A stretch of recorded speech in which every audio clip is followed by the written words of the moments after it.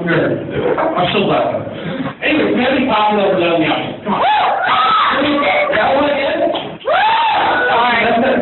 See, I'm not much of a coffee drinker, but today, biggest disappointment in my life. I go to McDonald's to pick up a cup of coffee, all because it's cheaper than Starbucks. But ever since a lawsuit that McDonald's got for the overheated coffee lab burning of you, uh, the coffee only comes in two extremes. Either lukewarm or shit, goddammit. And that's all you get. But there's one horrible thing about shit, goddammit coffee is you can't taste your Egg McMuffin. The advantage, though, of shit, goddammit coffee is you don't have to taste your Egg McMuffin. That's gotta be the best. You still get a full meal, but you burn the shit out of your tongue. That means anything you eat from that point on tastes like nothing. So don't give that bar hag and go for it, you know?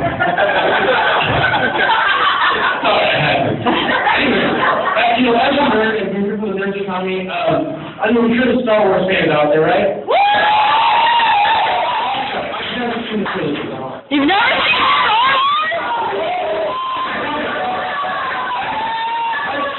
I've seen the prequel. I know they suck. But here's the thing. Everybody complains there's not enough black people in Star Wars. You've got three of them. Two had names, one died in the spaceship in the last film. You've got only four women, two, two, four women, three of them names, one was just a captain in the random scene. But nobody knows the fact there is one Mexican in the entire trilogy.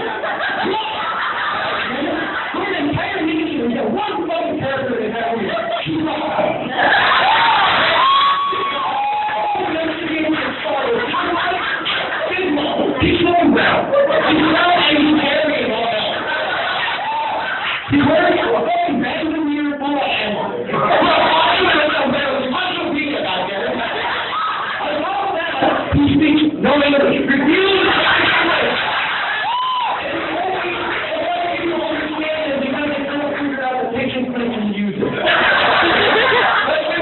All we know, he has no fucking green card. About the Empire always after. And the last night, he's a fucking weed smoking. He's a MacGyver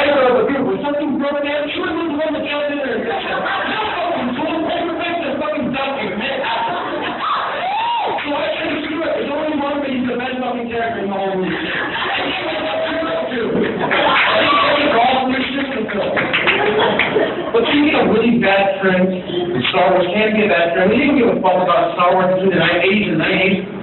Nobody gave a fuck. But now all of a sudden we're obsessed with bacon. Anybody notice this? Anywhere you go, you got bacon mix, you got bacon eggs, bacon flavored mayonnaise, bacon beer, you got bacon flavored edible candy. Every word and all. Where somebody realizes you can make a bacon flavored condom. That gives every fat guy in this room an excuse to be gay.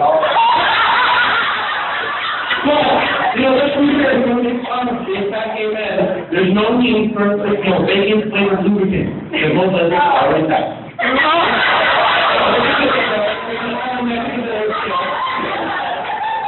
But that's not the only fad we have right now. We have some fad with zombies. Zombies are in movies, TV shows, fucking Walking Dead. Anybody?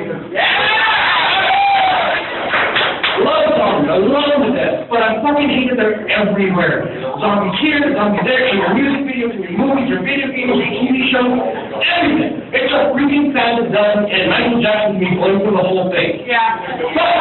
But the best part, when you think about it, nerds want the zombie apocalypse to happen. We're gonna be badasses. No. It's because you all are, when population gets dwindled down so bad, you either are gonna die, or you're gonna get laid. Because that one, you are the last man on earth.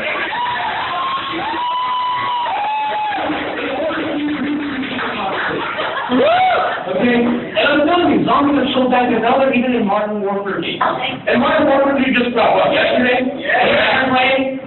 Nobody? Really? Wow. No prestige ones out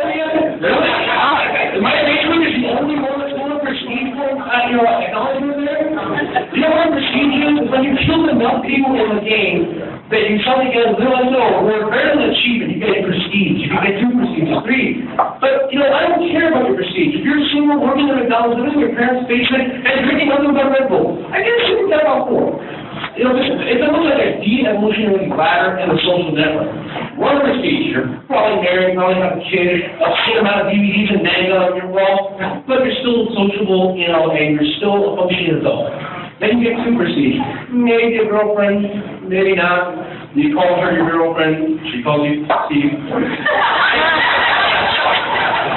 But the same time, you're, you different part-time job every six months, but you're still paying the rent, you're still borderline, you're still good, you know?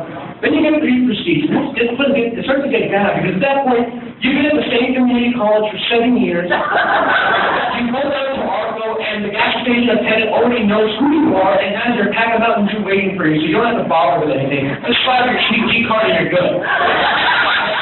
It gets really bad when you get to that ten prestige level. Because at that point, you know, your blood type, it's not just a running. You, you have almost, you have no social interaction whatsoever outside of Facebook or the in-game chat with the Call of Duty Elite programs.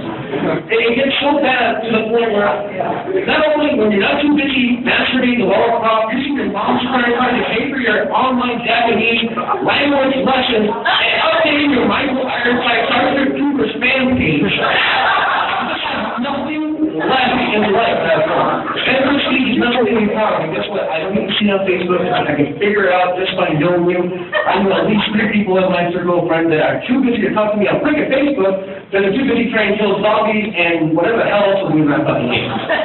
So I know it's true. It's a fact because that's all they do. The obsession is ridiculous. Different nerds. I know nerds can look at a Call of Duty player and just go, ah, you're a dork. That's why it's sort Twilight fans. Fans are a fantastic thing, please don't cheer for our Twilight fans, I'm gonna hate you. It's a great thing, because fans made it possible for Trekkies and Star Trek nerds to comment on it, go to them and go, you fucking nerd. They made it possible for me to feel normal. Because vampires, glittery vampires, and hunky werewolves. Oh, hunky werewolves, that's not gonna get to that, I can totally get to that one. But glittery vampire just can't happen, it's just, it's just way too much. Uh, but, you know, the, one thing that I realized over time is that, you know, every nerd wants to dress up his girlfriend. Sorry, assuming nerds have girlfriends. Uh, every nerd wants to dress up his imaginary girlfriend as Princess Leia, that iron, you know, iron bolt bikini from Oh, okay, okay. Oh my God. Now I got that audience. Uh, you know, dress up as Leia in the, in the whole bikini, but you know, I at that. Up as She-Ra. Up as that Baroness from G.I. Joe. Hell, one point dress up as Optimus fucking Prime. Come on, because chances are she's gonna transform into a better lover.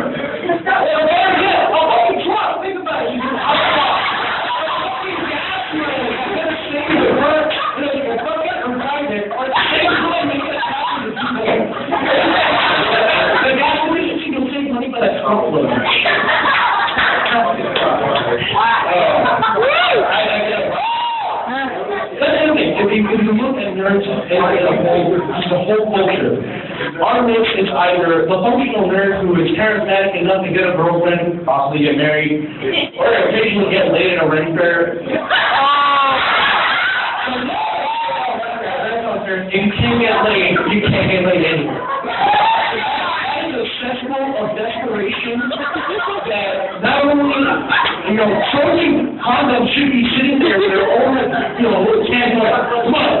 girl, lay down. You know, you're gonna But the one thing I don't understand, when all these people get laid, yet the majority of them, hygiene class in school, when something that like, open their heads. You know, I know you want to reenact the Renaissance era, it doesn't have to smell same. There's actually nothing in the real world.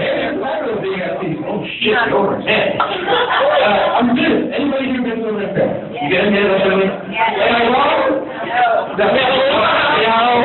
I just got hurt. I, you know, I'm a man who enjoys girls with curves, girls without curves, girls, period. But I at a woman and just be like, wow, you are absolutely gorgeous today. I can get within five feet of you. I, don't have a penis anymore. It turns into a mangina. It's funny. We're all right, guys, that's my time tonight. Thank you very much.